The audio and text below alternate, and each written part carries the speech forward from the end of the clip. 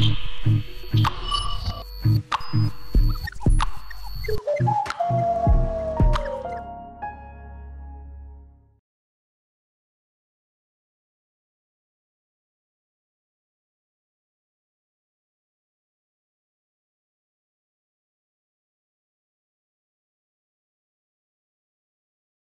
allons accueillir maintenant euh, Monsieur euh, Gatti, Marc Gatti, euh, de Thales, le groupe Thales, mais aussi membre de, de l'Albatros.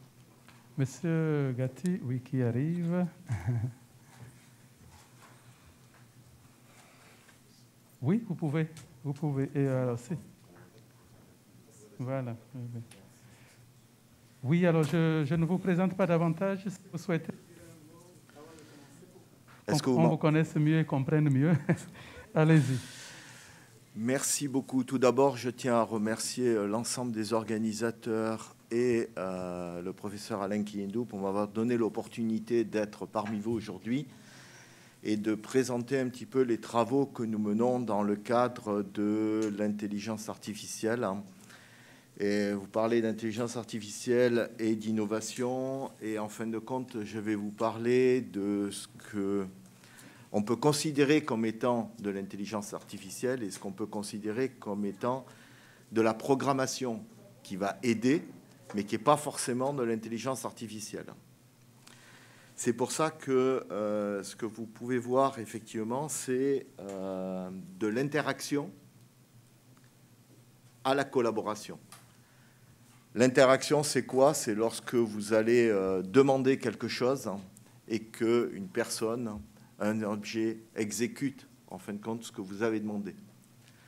Et la collaboration, c'est ce que vous retrouvez entre deux personnes quand à un moment donné, vous avez un échange qui va au-delà de la demande, c'est-à-dire qui va jusqu'à l'action.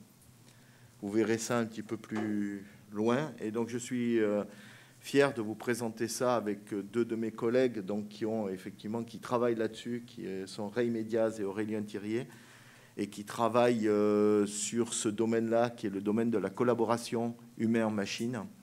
Et dans ce domaine-là, qui, euh, je dirais, ont permis justement de montrer qu'il y a une certaine volonté à monter à ce niveau-là pour justement à bénéficier, tirer bénéfice de ce qu'est l'IA.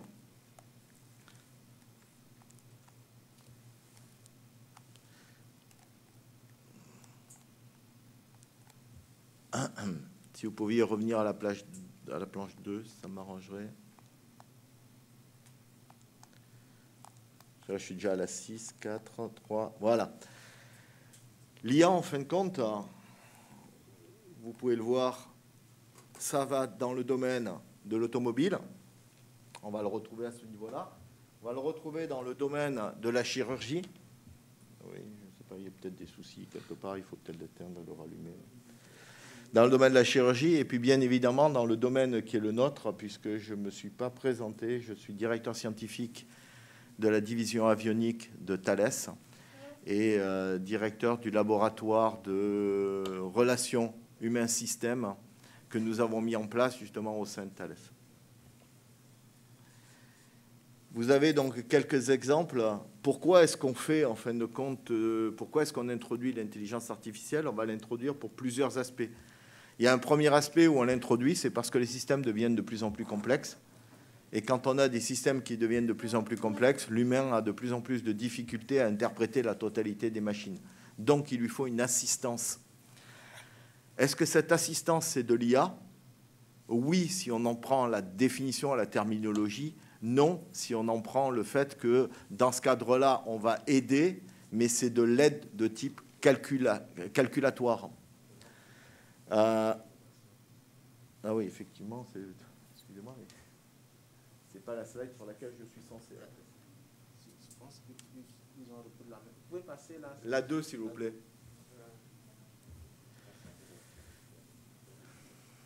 Voilà. Non, ça c'est la 4.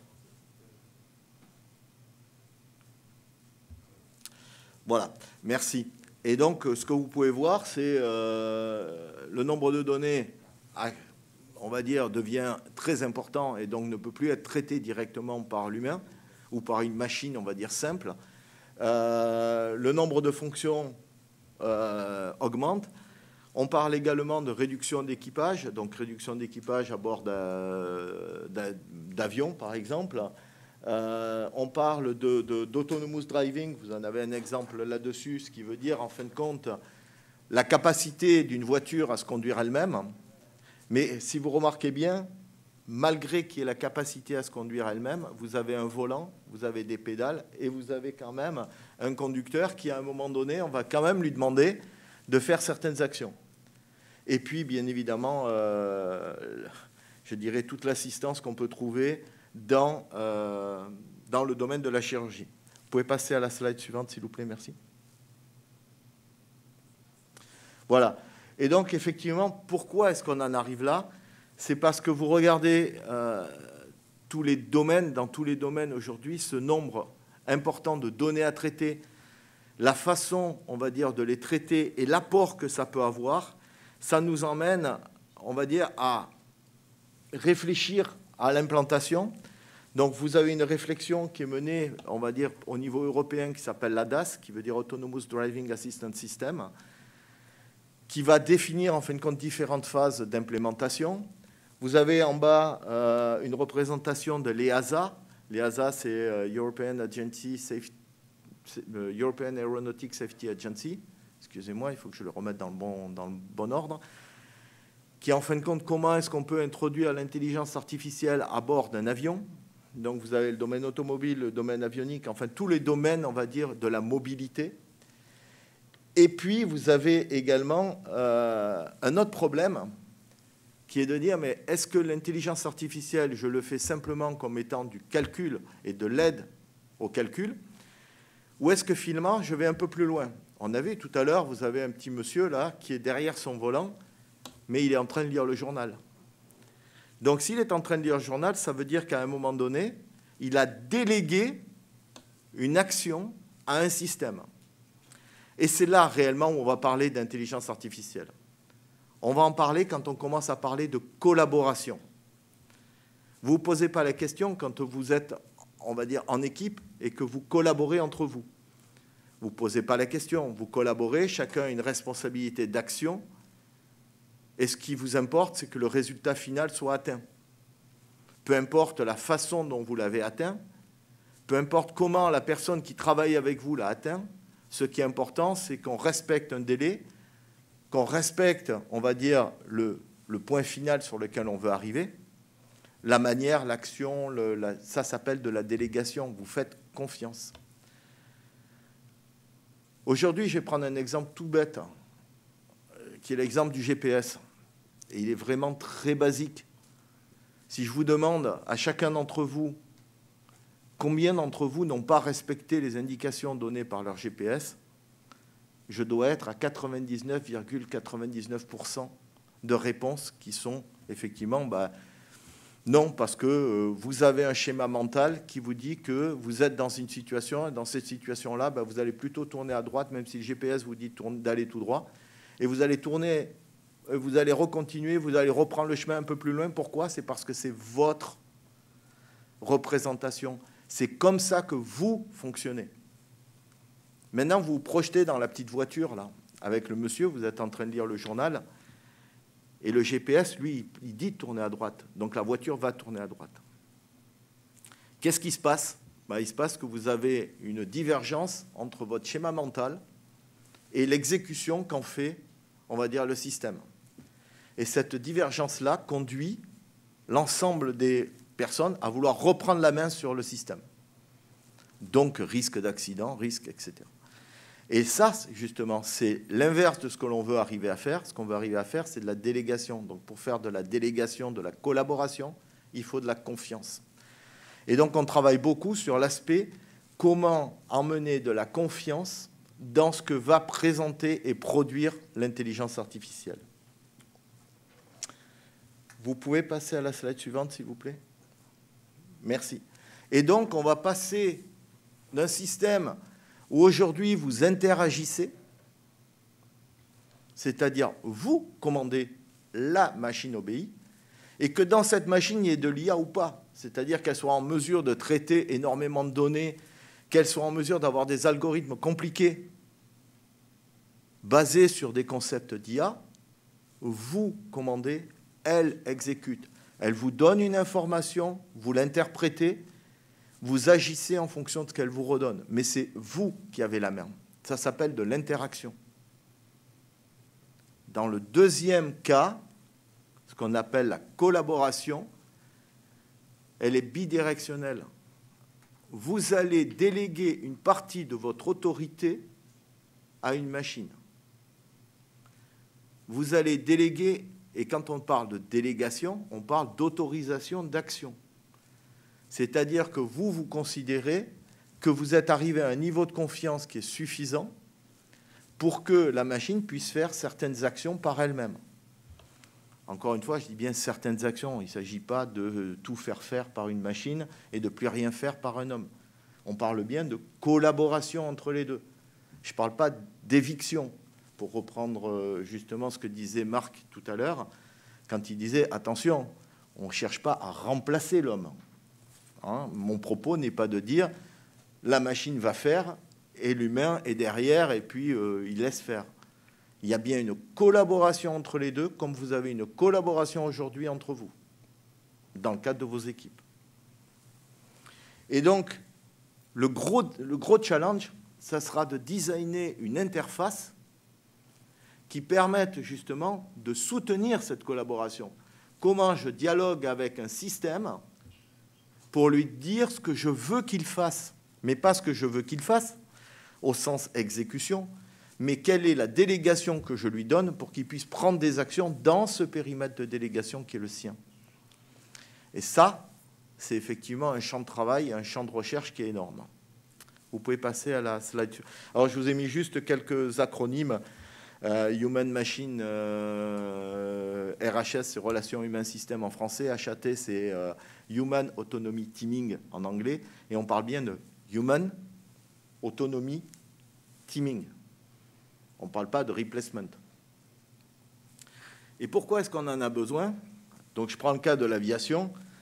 En 1950, on avait ce qu'on appelait une HMI, ça veut dire Human Machine Interface, où effectivement le pilote il avait plein, de voyants, plein d'écrans, plein de, petites jauges partout, dans tout. Euh, essayer de regarder un cockpit de 747, c'était noyé d'instruments, parce qu'il fallait tout surveiller et tout ça.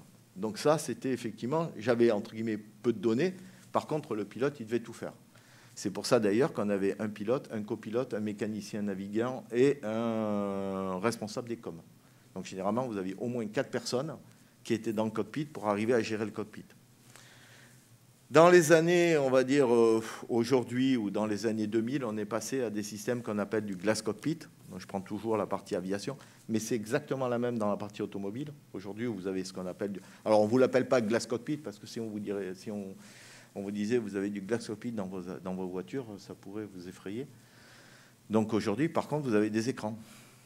Vous n'avez plus les aiguilles qui tournent, vous avez des écrans, on vous représente des informations, on vous met plusieurs informations on vient vous rajouter de la navigation dessus, on vient vous rajouter toutes les informations dont vous avez besoin, y compris des informations, on va dire, de euh, ce qu'on appelle d'entertainment, c'est-à-dire tout ce qui va, la radio, le, euh, la radio, le CD, etc., tout ce que vous avez à côté, qu'on peut venir vous mettre dans euh, l'affichage principal.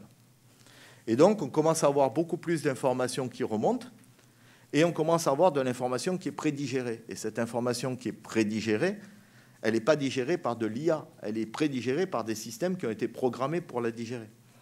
Prenez un pilote automatique, un pilote automatique, il est programmé. Il va suivre une route, il pilote l'avion, mais il le pilote sur une façon programmée. On lui a dit quelle était la loi de vol, on lui a dit comment est-ce qu'on pilotait un avion, et il le fait. Mais ce n'est pas de la délégation, je lui donne un ordre de faire ça, il le fait, il exécute. Il prend aucune décision. Si devant lui il y a un gros nuage et qu'on lui a dit de passer à travers le nuage, il va passer à travers le nuage. Si maintenant je mets de l'IA derrière, en plus de, euh, on va dire, conduire l'avion ou la voiture, ben quand vous allez vous apercevoir que vous arrivez sur une route qui est dangereuse, qui est glissante, et que euh, vous avez programmé, vous lui avez dit de faire ça à 130, et qu'il arrive, ben, il vient de grêler. Sur la route, ça arrive. bah, il faut peut-être pas garder 130 km/h, il faut peut-être réduire. Et ça, par contre, la prise de décision d'un changement de contexte pour vous garantir une sécurité, ça, c'est l'intelligence artificielle. Parce que c'est là où elle va modifier le comportement que vous avez programmé pour vous ramener dans une zone de confort et de sécurité, de façon à ce que vous arriviez à bon port. Puis tant pis, bah, vous serez en retard, vous serez en retard, mais au moins vous serez entier. Parce qu'à 130 sur des grêlons, bah, ça peut des fois finir dans le décor. De la même manière, si on fait passer un avion euh, euh, dans des turbulences très fortes, bah, il va pas aimer. Alors c'est les passagers qui vont pas aimer. L'avion, lui, il passera, mais les passagers derrière vont pas trop aimer. Donc l'idée, on déroute, on fait, euh, euh, on évite, et puis on reprend la route derrière. Ça, c'est de l'intelligence artificielle parce que vous y avez délégué une action qu'il a réalisée sans vous demander euh, votre avis, mais par contre, il l'a fait de façon à garantir la sécurité. Donc il y a bien un échange pour le bien-être et pour le confort pouvez passer à la suivante, s'il vous plaît. On en a sauté une. Non, c'est juste celle après. Merci. Euh, voilà. Et donc, en fin de compte, on va parler de, partenariat entre un humain et un système. Et dans le partenariat, on va parler de coordination et on va parler de collaboration. Et sur les planches, vous retrouvez exactement, si, j'avais mis deux humains ensemble, c'est la même chose. Alors, je ne suis pas en train de dire que l'intelligence artificielle, c'est équivalent à un humain. Ce n'est pas ce que j'ai dit. Mais je dis, vous retrouvez le même comportement parce que vous avez besoin à un moment donné de vous définir un référentiel. Et le référentiel que vous connaissez, c'est un référentiel entre deux humains.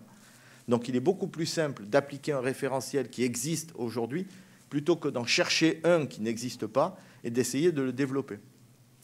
Donc on va appliquer un référentiel qui est un référentiel comment je coordonne des actions, comment je collabore, comment je peux partager mon savoir, c'est-à-dire comment je peux faire comprendre au système qu'il est dans tel élément, qu'il a telle responsabilité, que moi j'ai telle et telle responsabilité. Et ça, ça peut se faire, et ça ne peut se faire que par une communication bidirectionnelle. C'est l'humain vers le système, le système vers l'humain. C'est pas j'appuie sur un bouton, il l'exécute. Je délègue, on coordonne et derrière on rend acte de la coordination. Vous pouvez passer à la planche suivante, s'il vous plaît. Et donc vous le voyez, euh, ça, ce sont à chaque fois je vous ai mis des références justement qui sont des références on va dire, euh, de publications, entre autres, qui travaillent sur ces domaines-là, pour vous montrer que ce n'est pas simplement, on va dire, euh, une, lubie, par exemple, d'un groupe français qui pourrait travailler sur ce domaine-là, mais on est vraiment dans des analyses internationales. La FAA travaille dessus, le groupe SAE qui fait la normalisation internationale, y compris dans le domaine automobile, travaille là-dessus. Euh, L'EASA travaille là-dessus. le j'ai perdu le ministère de la Transition écologique travaille là-dessus également, parce que c'est justement le changement de paradigme que l'on peut introduire dans l'ensemble de nos systèmes. Si on veut, encore une fois, l'objectif est d'améliorer la sécurité dans les vols des passagers, au sol, du conducteur et des passagers de la voiture. On est bien dans je délègue pour emmener un confort, pour emmener euh, on va dire, une assistance complémentaire à ce qui existe aujourd'hui. Et donc ça va se faire sur trois étapes. La première étape qui est, on va dire, je demande, là, le système exécute. Donc ça, cette étape-là, y compris sur la partie IA, est obligatoire. Pourquoi? C'est parce que c'est par cette étape-là qu'on va commencer à acquérir de la confiance. Je lui dis que je veux faire ça et ça, elle me répond, donc le système me répond effectivement, j'acte ou j'acte pas, mais si j'acte, j'acte sur une réponse. Donc à partir du moment où je commence à prendre confiance dans le système, dans la réponse qui m'est attribuée, je peux passer à l'étape 2, qui est une étape vraiment bidirectionnelle d'échange, pour passer ensuite derrière à une vraie étape de collaboration, où là, comme je dis, j'ai délégation. collaboration égale délégation. Et délégation de tâches, délégation d'action. Vous pouvez passer à la planche suivante, s'il vous plaît.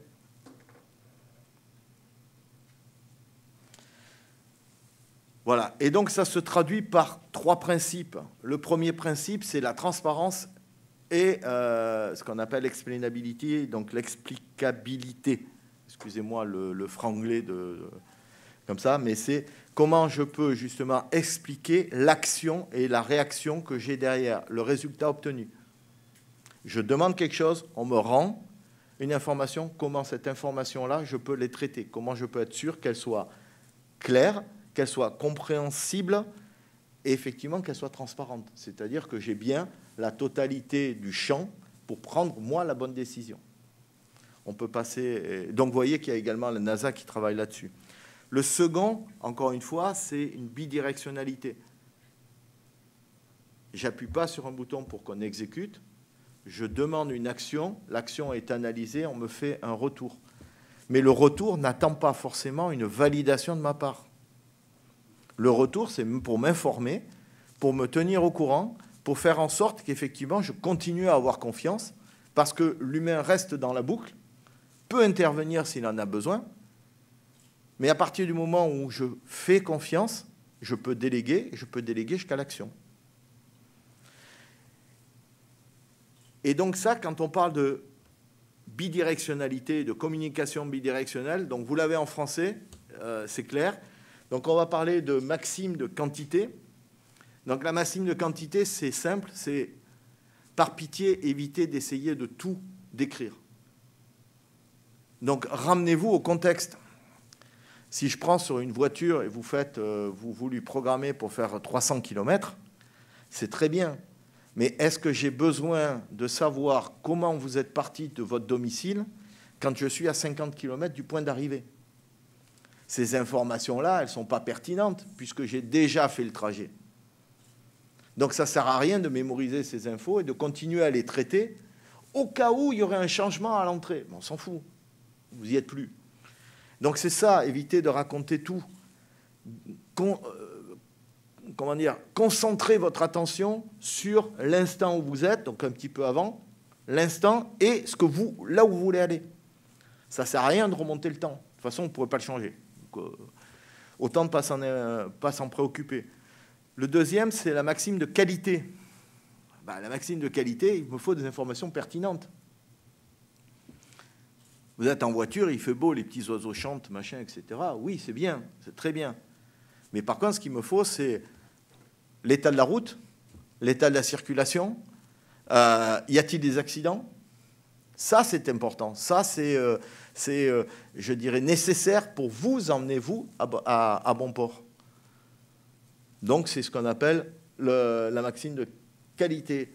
Et après, il y a la maxime de relation. Ce qui est important, c'est ce que je veux faire, ce que j'ai délégué. Donc c'est quoi le sujet? C'est quoi le sujet que je traite et comment je vais le traiter? Les autres sujets autour, oui, ils existent, mais je n'ai pas besoin de les traiter, ça ne sert à rien. Et puis le dernier, c'est, euh, je dirais, la maxime de pertinence.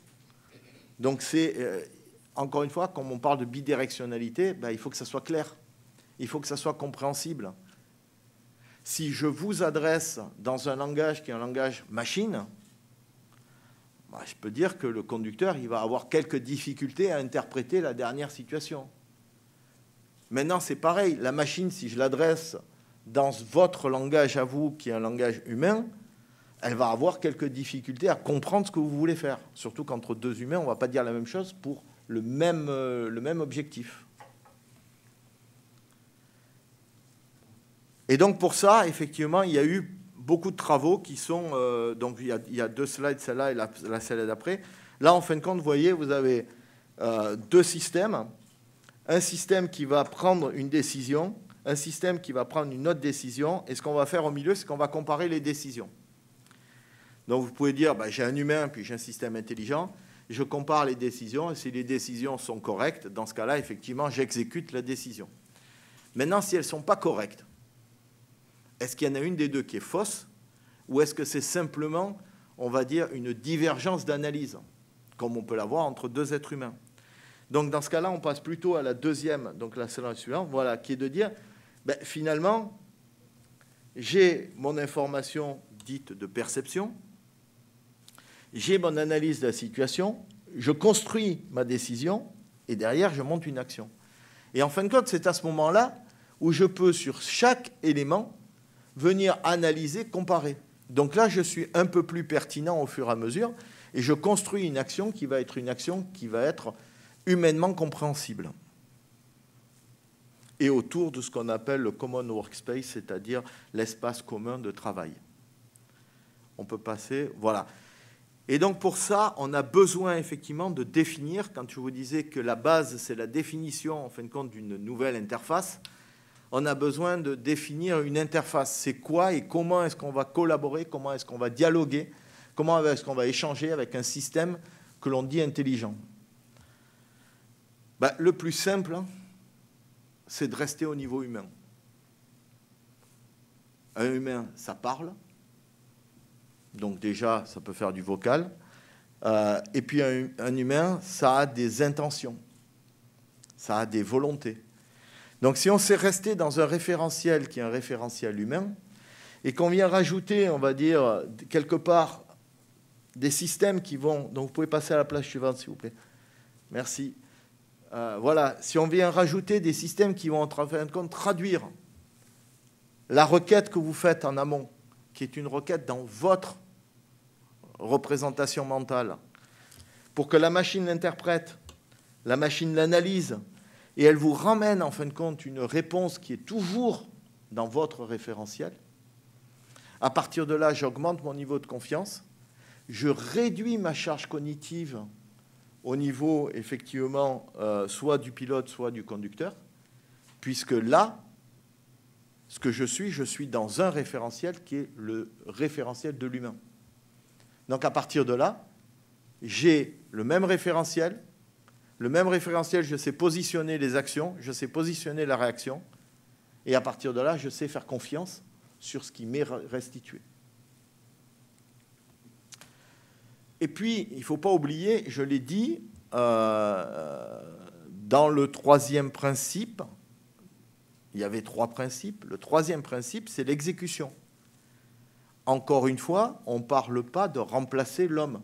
On parle bien de collaborer, on parle de se coordonner, et donc on parle bien d'exécution qui peut être managée, supervisée par un opérateur, qui a la capacité, le pouvoir de reprendre la main en n'importe quel moment.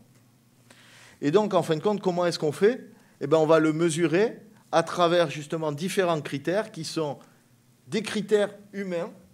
La fatigue, le stress, euh, l'état, euh, est-ce que je suis en bonne condition physique? Combien de fois on a vu euh, des conducteurs, et récemment encore malheureusement sous l'emprise de drogue ou sous l'emprise de l'alcool, qui ont, on va dire, conduit à des catastrophes? Et eh bien là, quand vous regardez, je ne suis pas General Health, je ne suis pas en état, et eh bien dans le cadre du teaming, justement, là, le système va prendre la main et va vous, dire non, non, mon grand, euh, tu es gentil, mais toi, tu conduis pas. Dans l'état où tu es, tu me dis où tu veux aller, je t'emmène. Ou alors on reste parqué, mais on va pas démarrer la voiture et puis commencer à zigzaguer et se malheureusement créer un accident ou créer, on va dire, des plus graves que des accidents. Donc l'objectif, c'est bien d'arriver au teaming en mesurant en amont à la fois, on va dire, les paramètres qui sont mesurables, qui sont tous les paramètres de collaboration, mais à la fois l'état. Parce que quand vous êtes sur une voiture, je regrette, mais il y a un volant, un conducteur. Vous pouvez avoir quatre passagers, il n'y a toujours qu'un volant et qu'un conducteur. Et donc, à partir de là, si le conducteur n'est pas en mesure de conduire, bah, il vaut mieux que le système soit gare la voiture et empêche la voiture de démarrer, elle est bien parquée sur le côté, puis c'est pas grave, vous prenez le taxi, vous la récupérerez demain. Soit que le système soit suffisamment autonome, et ça on le verra, c'est dans les montées de l'ADAS, ce qu'on appelle toujours euh, Automatic Driving Assistance System, donc dans les niveaux 4 ou 5, où la voiture peut vous emmener sur un espace qui est un espace, euh, effectivement, elle peut conduire sur la route. Voilà. Et donc clairement, pourquoi est-ce qu'on le fait? On le fait, un, bien évidemment, comme je l'ai dit, c'est parce que vous avez des problèmes, des problèmes que l'humain n'arrive plus à résoudre aujourd'hui, qui sont la complexité de l'environnement qui augmente.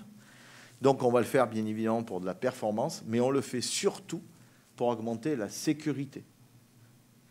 La sécurité des passagers à bord d'une voiture, la sécurité des passagers à bord d'un avion, à bord de n'importe quel élément, puisque je travaille dans le domaine des transports, dans le domaine des transports. Et la collaboration, ce n'est pas qu'un simple problème et ce n'est pas qu'un concept. C'est réellement comment je construis, en fin de compte, la confiance entre les deux éléments. Et cette confiance, elle se construit par l'aspect humain, où j'évalue effectivement l'humain. Je regrette, mais on, va en arriver là. Euh, si on veut pouvoir amener de la sécurité, ben, il faut évaluer la capacité de l'humain à pouvoir faire. S'il ne sait pas faire, s'il n'est pas en mesure de faire, ben, il vaut mieux ne pas faire du tout. Ça ne veut pas dire le remplacer. Ça veut dire être suffisamment moteur pour dire l'humain, on va s'arrêter, encore une fois, comme je dis, je prends le cas de la voiture, et eh bien la voiture, on va la parquer, on va la mettre sur une, sur une aire de, stationnement, et puis on va attendre que le conducteur soit dégrisé, par exemple, s'il est euh, sous la prise de l'alcool. Ce qui est quand même beaucoup plus préférable que lui laisser prendre le volant. De la même manière, on va mesurer les capacités de la machine, parce que c'est pareil, est-ce que la machine, elle a suffisamment d'informations ou est-ce que ces senseurs sont euh, altérés, auquel cas on ne peut pas les traiter. Et puis on va mesurer dans un premier temps l'interaction, parce que bien évidemment, si je veux échanger avec le système, ben, il faut que je puisse le faire. Donc il me faut interagir avec le système pour arriver derrière à la collaboration et donc la mesure de la relation. Donc on travaille beaucoup sur cette mesure-là. Et euh, si on regarde effectivement, on ne peut le faire qu'en prenant un référentiel d'éthique. Et là, encore une fois, euh, donc là, c'est Marghetti qui parle, on ne va pas chercher à inventer un référentiel. L'éthique existe entre les humains. Ben, on va appliquer le même. Il n'y a pas de raison de créer un référentiel différent parce que c'est une machine qui le fait.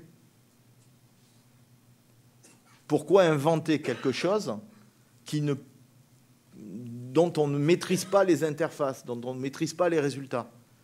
Une machine ne doit pas tuer. Oui, un être humain ne doit pas tuer. Donc on est, euh, mettons-nous déjà au niveau de l'éthique et l'éthique entre des êtres humains, emmenons, on va dire, le système à être à ce niveau d'éthique avant de commencer à essayer d'imaginer euh, d'autres concepts, parce que c'est un système qui peut, euh, qui peut conduire à votre place, qui peut, qui peut prendre des actions à votre place, qui peut prendre des décisions à votre place, comme tout être humain le fait. Voilà. Et donc, clairement, euh, l'intelligence artificielle, ce n'est pas de l'automatisation. Encore une fois, l'automatisation, c'est bien, mais ce n'est pas de l'intelligence artificielle. L'automatisation, vous lui demandez de faire une action, il fait une action. Point. L'intelligence artificielle, vous déléguez une action, vous déléguez pardon, un champ, et dans ce champ de délégation, il prend et il exécute, et il fait des actions. Donc, on collabore, Bien évidemment, on contrôle. Et puis, on a une relation qui est une relation humain-système intelligent, complète.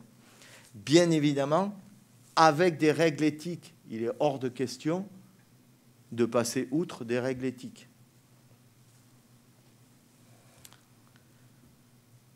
Voilà ce que je voulais vous. Je pense que c'est ma dernière slide. Si vous passez à la slide suivante, voilà. Je pense que c'était ma dernière salle. Donc voilà ce que je voulais échanger avec vous euh, sur effectivement ce que c'est que l'IA pour nous et euh, l'implication de l'IA. Donc l'IA, vous allez le trouver partout. Vous allez le trouver dans des systèmes radars, dans des systèmes d'aide à, la vision, par exemple, où on va faire des extractions d'images. On peut faire de l'extraction d'images dans des euh, environnements qui sont très bruités, qui sont dans des brouillards, etc. C'est de l'IA au sens algorithmique, au sens mathématique mais ce n'est pas de l'IA collaboratif. Vous lui demandez quelque chose, il vous affiche, il va vous dire attention, dans le brouillard, vous avez une voiture. Pourquoi? Parce que j'ai fait de la cartographie euh, infrarouge et que j'ai repéré qu'il y avait un moteur qui était chaud, qui était un peu devant, etc. C'est très bien ça, c'est parfait. Mais c'est de l'aide, c'est de l'assistance. L'IA égale collaboration, collaboration égale délégation, délégation égale autorisation d'engager des actions. Je vous remercie. sauf si vous avez des questions. Oui, c'est ça. Merci beaucoup. Hein. C'est vrai qu'on a... Alors, merci pour euh, ce cadrage-là. Euh, c'est bien, c'était la conférence inaugurale, évidemment. Euh, ce cadrage pédagogique, à la fois notionnel, technique et, et, fonctionnel, cadrage finalement donc de la place qui doit être réservée à, chaque, à chaque pôle dans, dans cette relation homme-machine. Euh, dans cette interaction homme-machine. Et c'est bien d'avoir insisté sur cette notion de collaboration, parce qu'effectivement, euh, euh, ce n'est pas assez clair dans nos esprits. Et quand on parle de l'intelligence artificielle, on pense plutôt effectivement au remplacement, mais pas à, la collaboration, à la délégation, etc. on va, on va peut-être prendre deux questions. Peut-être oui, parce qu'on est déjà assez en retard, mais il, faut prendre des questions. It's up to you. Il faut, éclairer. Alors, est-ce que quelqu'un euh, veut passer le micro? Ou, je, je, le fais moi-même d'ailleurs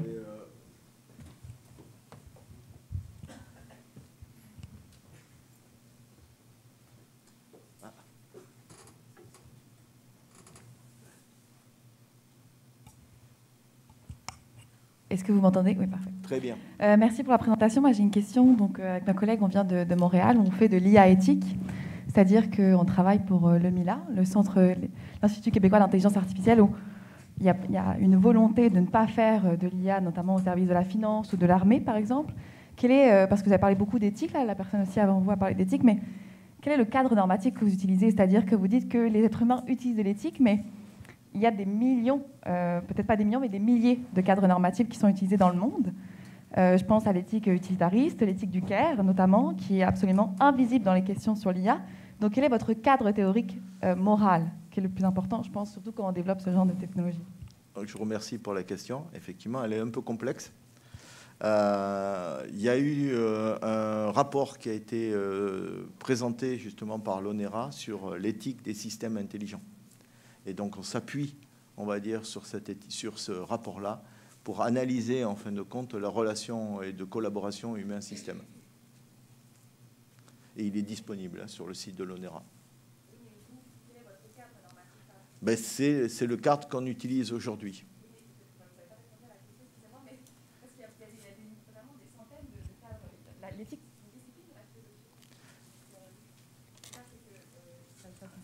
Alors, si vous voulez des références, ouais. je les ai des références philosophiques, parce que l'éthique, c'est une discipline. Si vous voulez des références, je ne les ai pas en tête, donc je peux vous les communiquer, j'ai pas de souci, puisqu'on les a, je les ai sur certaines planches. Donc je peux effectivement vous communiquer les références, j'ai pas de problème, mais je les ai pas en tête, je suis désolé. Le seul point, effectivement, qui pour nous est la baseline, on va dire, de nos travaux, encore une fois, c'est euh, le gouvernement français qui a demandé à l'ONERA de plancher sur euh, l'éthique, de ce qu'était l'éthique euh, des systèmes intelligents et de ce que devaient respecter les systèmes intelligents, et qui est une donc qui est enfin dont le résultat est un rapport complet qui a été remis au ministère de la Transition écologique, et c'est ce rapport-là sur lequel nous nous appuyons pour analyser nos systèmes. Maintenant, euh, pour répondre complètement à votre question, je peux le faire, mais pas là. Je regarde, tu les. Pas pas tout en tête. Je suis désolé. Oui. Bonjour, ça marche, oui. Bonjour, moi je suis Vanessa Nuroc, je suis professeure de philosophie, d'éthique philosophique, donc décidément, là, on, se, répond avec les collègues. Euh, et je suis également porteuse de la chaire UNESCO EVA d'éthique du vivant et de l'artificiel.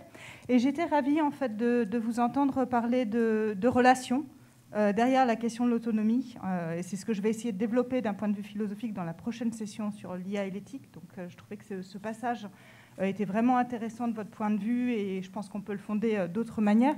Alors ma question, elle rebondit un peu différemment sur ce que disait ma collègue. Euh, je m'interrogeais sur la manière dont, à la fin, justement, vous parliez du référentiel d'éthique, parce que c'est un peu un point aveugle quand même de, votre, de votre topo, mais je voulais y réfléchir avec vous. et quand vous dites que notamment, alors je, je le reformule hein, dans mes termes, mais qu'il faut transférer les normes éthiques qui prévalent dans les interrelations entre humains euh, aux relations entre humains et IA, je me demandais bah, quels sont les points communs que vous voyez pour essayer d'avancer un peu avec vous sur cette question. Euh, et puis, quelles sont les différences? Parce qu'évidemment, dans une interrelation éthique euh, entre un être humain et un autre être humain, il y a un processus qui s'installe et il y a une, forme d'interchangeabilité. il y a aussi un processus justement de retour qui est peut-être différent de celui que vous avez montré, par exemple dans l'éthique du care, entre la personne qui va donner le soin ou l'attention et la personne qui va le recevoir. Euh, et du coup, euh, moi, je me demandais comment vous voyez euh, cette, relation ou interrelation éthique humain-IA. Est-ce que pour vous, c'est exactement la même chose? Et sinon, quelles sont les différences? Et c'est ces différences-là que j'aurais aimé vous entendre peut-être approfondir pour interroger les perspectives que donne cette délégation que vous proposez et puis les limites éventuellement. Par exemple, est-ce qu'on va déléguer l'éthique aux IA si on a une interrelation éthique avec les IA. Vous voyez, si je fais confiance à quelqu'un, je peux lui faire confiance pour que cette personne prenne les décisions éthiques à ma place. Est-ce que du coup, on va parler de la même confiance avec les IA Vous voyez, j'essaye d'avancer avec vous dans, mais c'est très bien parce que vous venez de dire quelque chose qui est justement un petit peu à l'opposé de ce que j'ai dit. Vous avez dit à ma place. L'objectif, c'est pas qu'ils vous remplacent, c'est pas qu'ils prennent, c'est pas qu'un système prenne des décisions à votre place. Dans le champ, euh, c'est ce que vous avez dit, à ma place. En fait, c'est l'interchangeabilité, c'est-à-dire que chacun peut se mettre, en anglais on dirait dans les chaussures de l'autre. Mais justement, non. C'est bien, c'est bien. Alors, euh, c'est si. Euh, c'est l'empathie en fait. Oui, mais justement non. C'est-à-dire, je veux pas me mettre. Et l'objectif, c'est pas que l'IA se mette à votre place, c'est pas que l'IA vous remplace, c'est pas que l'IA se substitue à vous, c'est que aujourd'hui, euh, dans le domaine que nous, dans lequel nous travaillons, c'est plutôt le domaine de la cognition. Et dans le domaine de la cognition, on travaille sur c'est quoi la confiance, c'est quoi le transfert de responsabilité, c'est quoi la collaboration? Et on se base sur des travaux aujourd'hui, on a des travaux avec l'IRT euh, de Saint-Exupéry, pour faire justement des mesures de taux de confiance. Et euh, l'objectif de ça, pourquoi est-ce qu'on le fait? C'est parce qu'en fin de compte, ce taux de confiance-là emmène à une délégation. Mais au même titre qu'une délégation, vous feriez entre un pilote et un copilote, parce que vous estimez qu'il a suivi les mêmes cursus de formation que vous, parce que vous estimez qu'il a été euh, qu'il a un certain nombre d'heures de vol, on va dire, et qu'à partir de là, il est capable d'eux. Et donc, vous ne posez pas de questions il a sa part de responsabilité, vous avez la vôtre. Et je vais faire juste une transition là-dessus. Si on regarde, euh, vous avez tout un, pan qui a été traité par, euh, par Boeing euh, avec Aurora qui, qui a développé un petit robot qui s'appelle Alias. Et en fin de compte, ils ont pris le problème complètement à l'envers. C'est-à-dire que plutôt que de prendre le problème sur l'aspect j'ai un système qui doit collaborer, ils ont pris le problème en disant bah, finalement, je vais apprendre au robot à se comporter comme un humain, c'est-à-dire que je vais lui apprendre comme j'ai appris à un être humain. Et donc, Alias a été formé, a été entraîné comme on l'aurait fait pour un copilote. D'ailleurs, il est dans la première slide de ma présentation. Et si vous regardez ça, qu'est-ce qu'ils ont fait?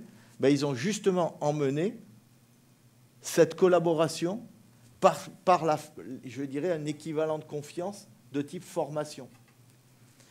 Donc c'est pareil au niveau de l'éthique. Au niveau de l'éthique, quand je dis on va se baser effectivement sur l'éthique, donc je n'ai pas le référentiel euh, dans la tête, je vous le communiquerai là-dessus. Mais il ne s'agit pas, encore une fois, de créer un référentiel différent, il ne s'agit pas de créer des règles différentes de celles de fonctionnement entre humains. L'objectif, il est là. non, mais je, comprends et je trouve que c'est vraiment très intéressant la manière dont vous posez les choses. La différence, c'est que je peux attendre de l'autre humain qui, qui, se comporte moralement. Euh, oui, là vous allez avoir, voilà, euh, voilà là vous allez avoir, et c'est tout. C'est pour ça que je vous l'ai dit à un moment donné dans mes quatre règles.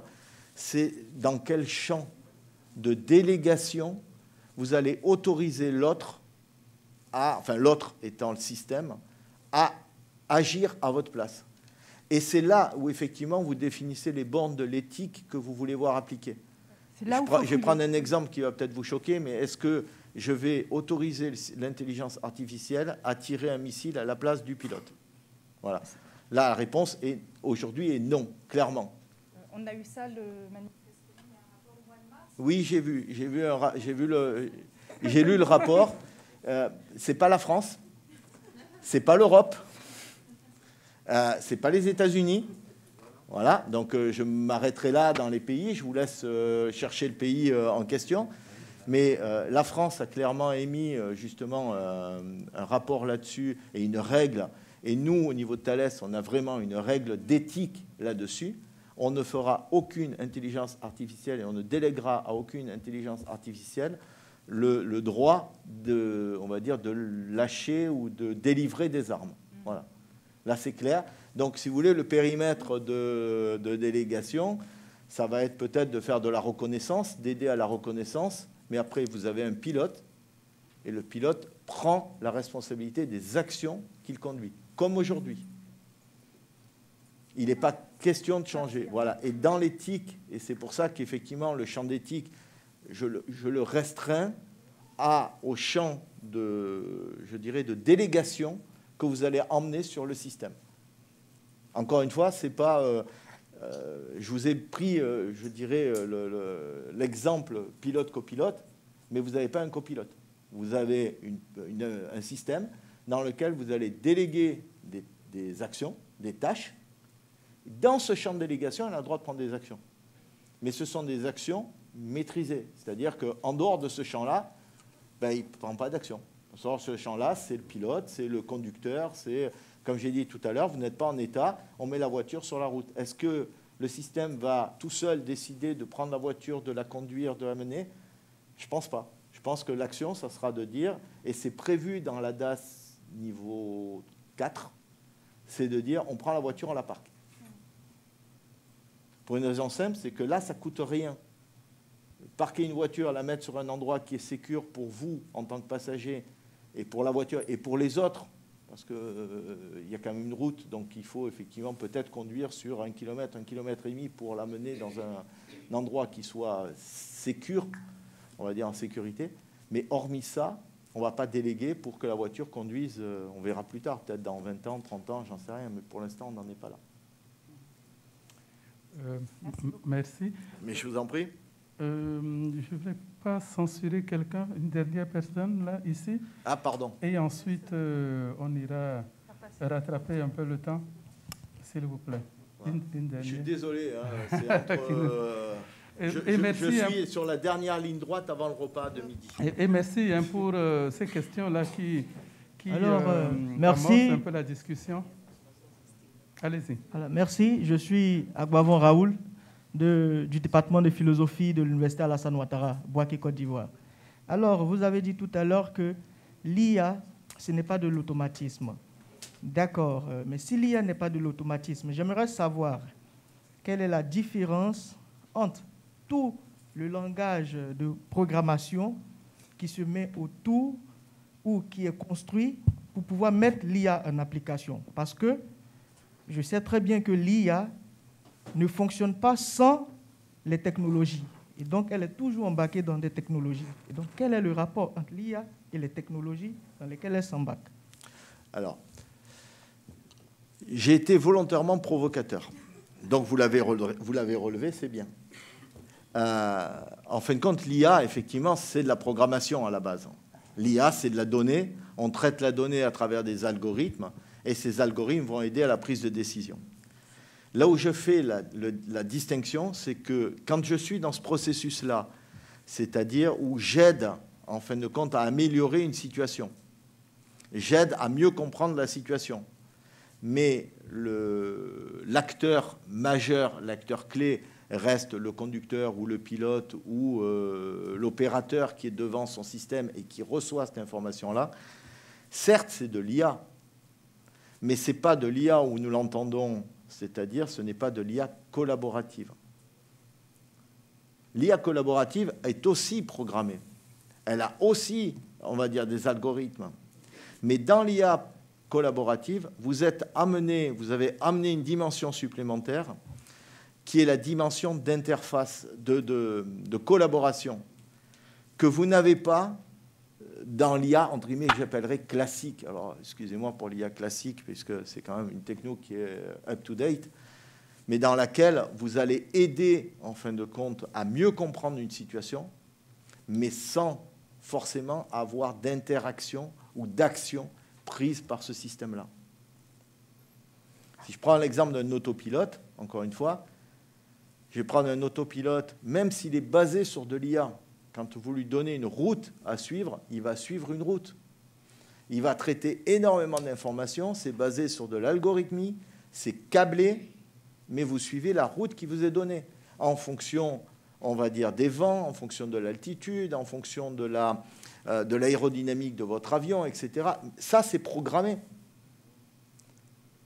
Maintenant, là où je vais faire appel à l'IA collaborative, c'est quand à un moment donné, quand je vous dis devant vous, vous avez un gros nuage, est-ce que je passe à travers parce que le système me dit il faut passer là, la route elle est là. Pardon. Est-ce que je passe à travers, auquel cas j'ai des turbulences et vous avez un certain nombre de passagers qui peuvent être malades à l'arrière Ou est-ce que je vais me dérouter Et si je le fais, je le fais comment? Et c'est là que votre échange, on va dire, entre le système et la machine prend toute son importance. Qu'est-ce que vous lui avez demandé quand vous avez décollé? Ce que vous lui avez demandé, je veux être à l'heure au point d'arrivée. Je ne veux pas consommer plus de fuel. Je ne veux pas polluer. Je ne veux pas de turbulence. Je ne veux pas, etc. Là, je suis dans un référentiel humain, un référentiel d'intention. Donc si ces intentions-là, je les ai données à mon système intelligent, en amont, là, avant de décoller, quand il va rencontrer le nuage et que je lui ai dit que je ne veux pas de turbulence, qu'est-ce qu'il fait? Il prend tout seul la décision d'éviter le nuage et de le contourner. Et ce n'est pas parce qu'il est programmé, c'est parce que vous lui avez donné en amont, vous lui avez donné en amont un, un référentiel d'action qui est de dire je ne veux pas de turbulence. Ah non. Oui, oui, mais là, vous n'êtes pas dans instruction-exécution. Vous êtes dans instruction. Vous êtes dans instruction. Pardon. Vous n'êtes pas dans instruction-exécution. Je regrette. Là-dessus, vous êtes dans intention en amont. J'ai donné une intention. Bien sûr que j'exécute. Bien sûr que je suis sur une machine, donc j'exécute du code. Oui. Mais c'est parce que dans l'intention que je lui ai donnée, je lui ai dit que je ne voulais pas de turbulence, qui va calculer des routes. Eh oui, il va calculer des routes différentes, regarder quel est le champ de possible et choisir parmi les champs de possibles celle qui répond le mieux à mon intention de départ. Donc je regrette, mais je suis plus dans de la programmation entre guillemets bête, euh, action, euh, pardon, euh, analyse, action. Mais bien sûr. Mais, mais, mais elle existe toujours. Mais vous prenez un GPS, je prends le cas d'un GPS, ça existe toujours. Le GPS, tant que vous allez, il vous dit tournez à droite, tant que vous ne tournez pas à droite, il va vous dire tournez à droite, tournez à droite, tournez à droite. Donc il va calculer plusieurs trajectoires. Sauf que dans ces trajectoires-là, elles sont entre guillemets bêtes, parce qu'elles répondent simplement à point, de, de départ, point d'arrivée. Mais si vous lui avez dit, en amont de ça, calcule-moi, enfin, trouve-moi le meilleur chemin pour éviter des lacets, parce que j'aime pas les lacets, moi. J'aime pas monter sur les montagnes. J'aime pas les autoroutes. Alors, autoroute, c'est facile.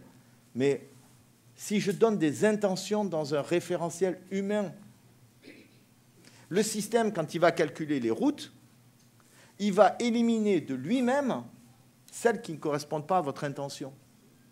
Et il va prendre l'action de vous emmener sur celle qui correspond à votre intention. C'est ça un système intelligent. Ce n'est pas le fait qu'il ait agi. Oui, il a agi, mais il a agi dans un référentiel qui est le vôtre, qui est votre référentiel d'intention, qui est un référentiel humain. Je lui ai demandé, moi, je lui ai dit, je ne veux pas de turbulence à bord de mon avion. Donc il a calculé des trajectoires, il a calculé des routes en fonction d'événements extérieurs, comme l'aurait fait un copilote. Mais si je ne lui, donne pas le référentiel d'intention, si je lui donne simplement l'autopilote, comme c'est aujourd'hui, autopilote, c'est action-réaction. Ben, action, je lui dis de passer là, ben, il va passer en plein milieu. Réaction égale turbulence. Mais ça, c'est un autopilote. Il peut être à base d'IA. Euh, merci, merci, merci beaucoup, Monsieur Gatti.